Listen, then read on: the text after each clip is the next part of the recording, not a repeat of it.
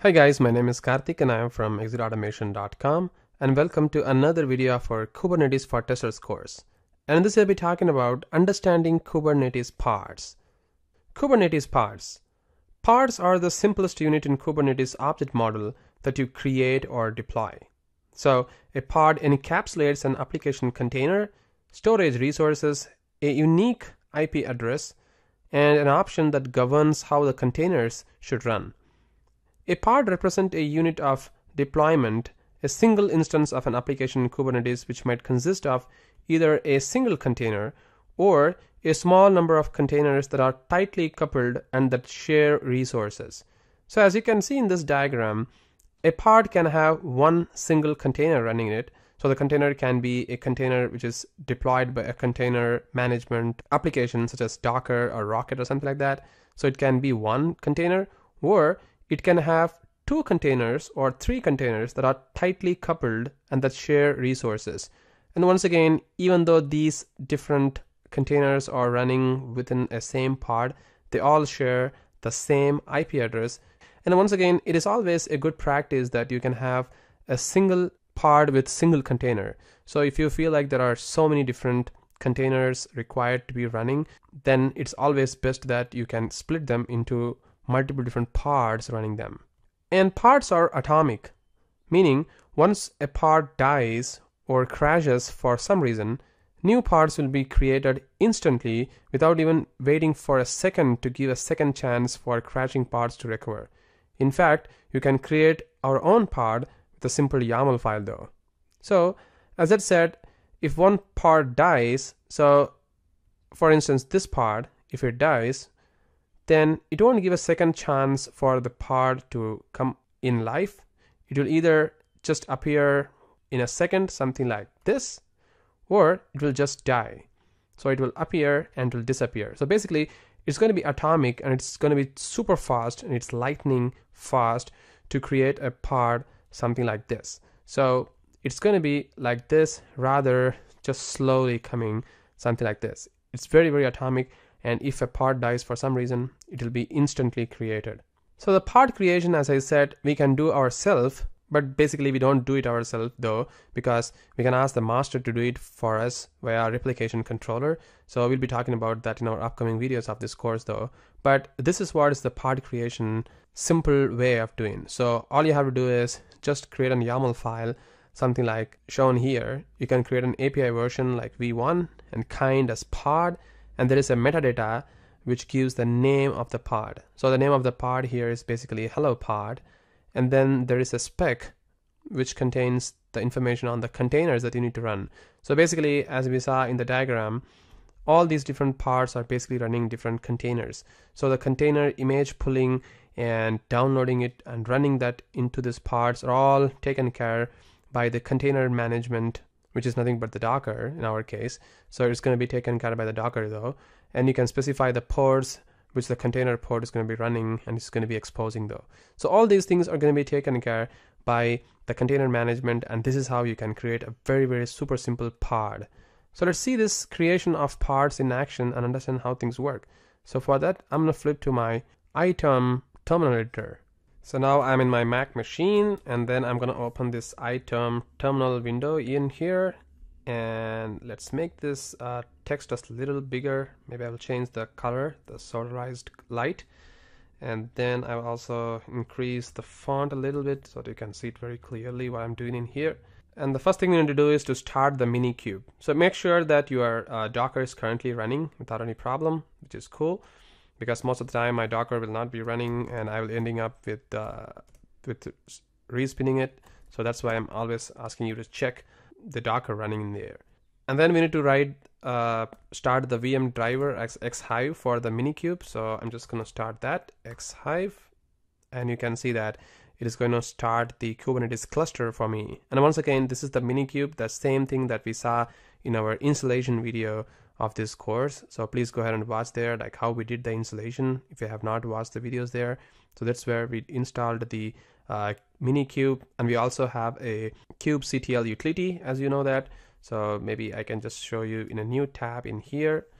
And you can see that we have something called a kubectl so if I do that you can see you can do a lot of stuffs from here. So you can create uh, and then you can expose you can run you can set and you can run a container and you can get explain edit and then you can deploy and then you can do a lot of different stuffs using the kubectl command line utility. So that's one which we're going to be using. And you can see there is some other options something like describe logs attach auth proxy. So these are some of the most important things that we'll be using while we try to describe a parse that what is happening and similarly if you want to describe what's the node and what is their ip address what is the internal ip address being exposed and the informations everything you can do using this particular uh, kubectl commands and different kinds of commands available within the kubectl. So it seems like the kubernetes cluster is up and running. So now i can just do this. I can just do mini kube I can see the status you can see that the minikube is running, the cluster is running, and the CTL is correctly configured and pointing to minikube at this particular IP address, which is cool. So I can also do this minikube, and there is something called as dashboard. And if I hit enter, and you can see that it is currently going to load the the dashboard for me. So I can just copy this, and maybe I can go to the uh, Chrome browser and I can paste this over here and you can see that there is a dashboard and you can use this dashboard to see what is happening within uh, your cluster. So you can see there are some kind of pods which is running. So these are something which I have already deployed in my uh, cluster. So there are different kinds of pods running and each pods actually has uh, a selenium node running. And you can see their logs and you can do all these different kinds of stuffs from here. So we'll be talking about this dashboard and understanding the dashboard in our upcoming videos of this course. But as of now, you can see that this is how you can see Minikube cluster is currently up and running. So I'm just going to close this guy and uh, I'm just going to do a clear. So now we need to create a pod. So basically, as you can see that you can just do something called as kubectl and then you can do a get of pods if you hit enter, you can see there are different kinds of pods running uh, in my Kubernetes cluster already. So if I want to delete these pods, I can easily do that as well. So I can just do that uh, kubectl, and then there is something called as delete, and then I can do pods, and I can give the name of the pods over here. So if I want to delete this pod, I can just copy this, I can paste it over here and hit enter, and you can see that this pod is deleted.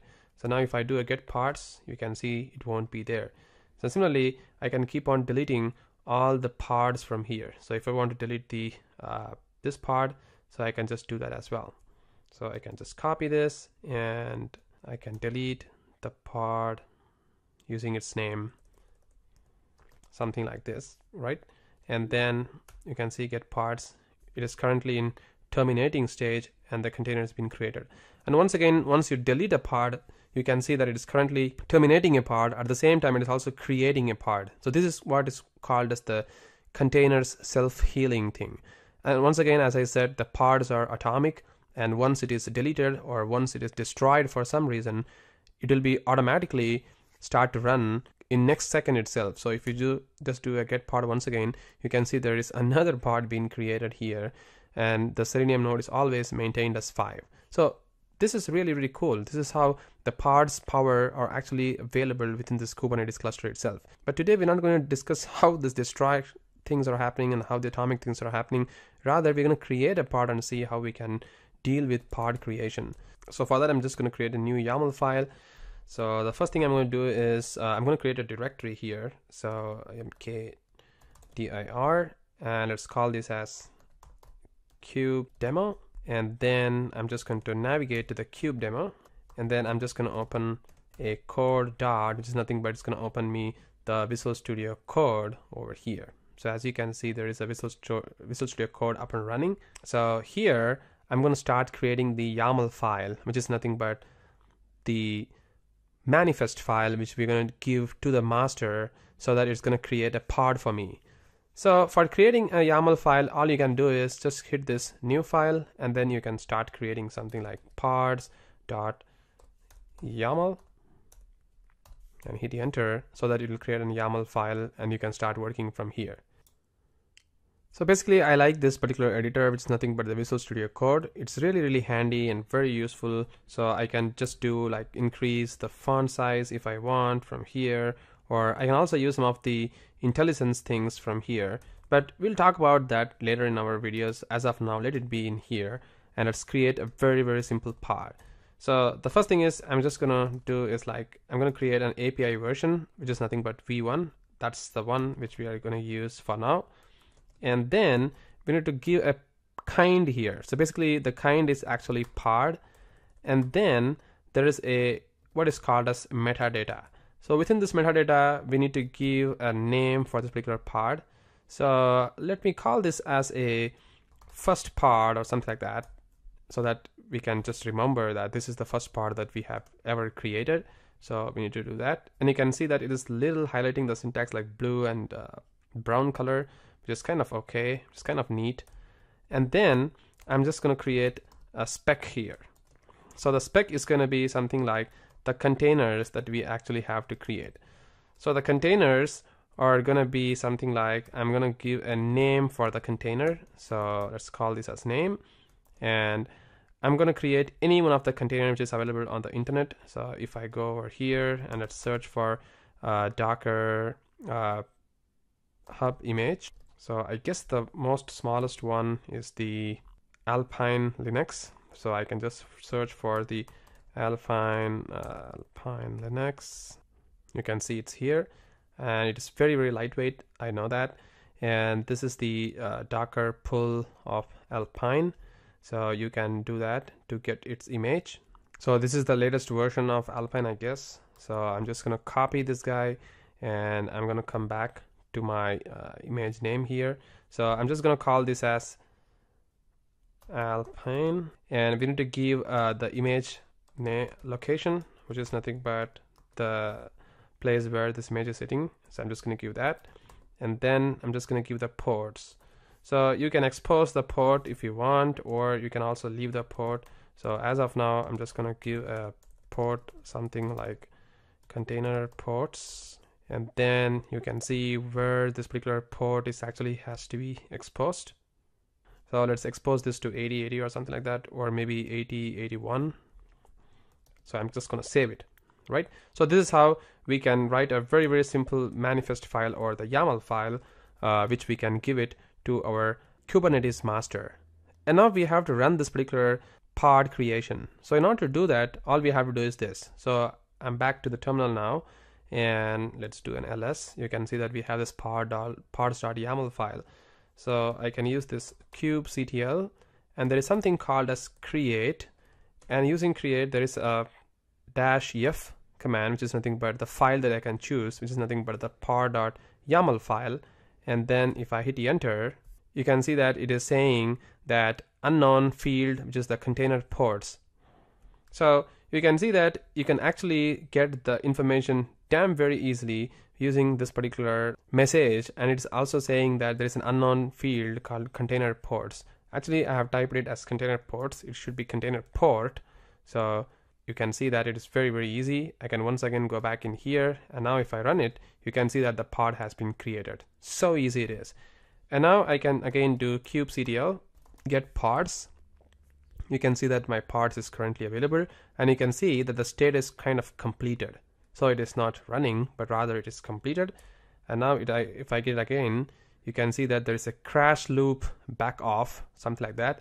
Seems like there is some problem and it is again trying to create. It is kind of complete now and you can see it is completed. It's completed once again. But if I want to get the information of what's really happening behind the scene like why is it completed? Why is it crash loop back off? Something like that. So let me do this. Let me clear it. And then there is something called as describe pods and here I can specify the name of the pod so that it's very easy for me to figure out exactly which pod I'm looking for. Our pod name is actually first pod, so I'm just going to choose that. And you can see once I hit enter here, the first pod, you can see it's giving me the information. So this is the container ID, and this is the Alpine Linux, and this is the Docker pullable image. It has pulled, and the status is uh, state is like terminated. The reason uh, it says something like completed and it also shows you all the informations like type ready state and this is the volume it has been taken.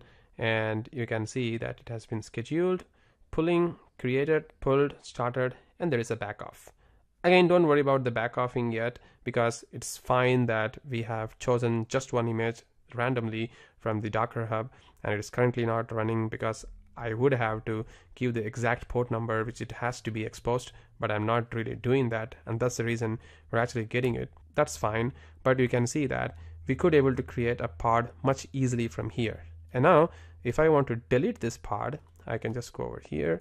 You can just do kubectl and then there is a something called as delete pods and first pod you can see it is deleted right now. So now if I even get the pods you can see that the first pod is kind of in terminating state. And now once again it is still in terminating. And you can see that the pod has been terminated this time right? So this is how you can actually do all these kind of pod creation and terminating the pod and checking the status of the pods and getting all the verbose information using describe using pods in Kubernetes. So in our next video, we'll start understanding how to work with services and deployments. Once again, thank you very much for watching this video and have a great day.